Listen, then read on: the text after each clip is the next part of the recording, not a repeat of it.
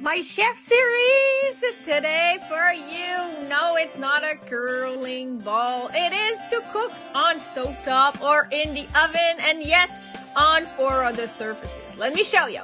Today we're cooking a recipe with a base of eggs because it's very, very cheap and it's very good for your health.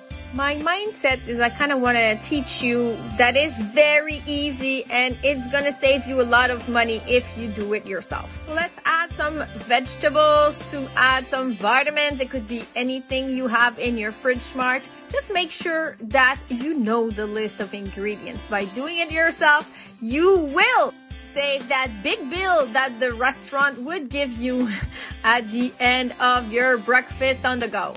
Yes, with 10 years of experience, there's a lot of people that would give me the excuse of missing sometimes. So, yes, for sure, you're gonna hear all of us talking about how to be organized to save that time, how to get the right tools to save that time, and make it easy and make it fun in your everyday routine. Meaning, opening your fridge with a lot of FridgeSmarts with options of veggies to be inspired.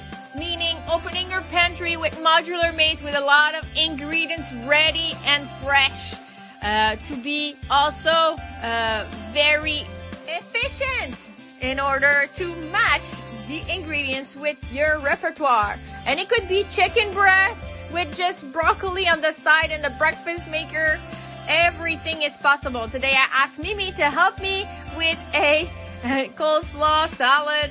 If it's very easy for her, it's very easy for you.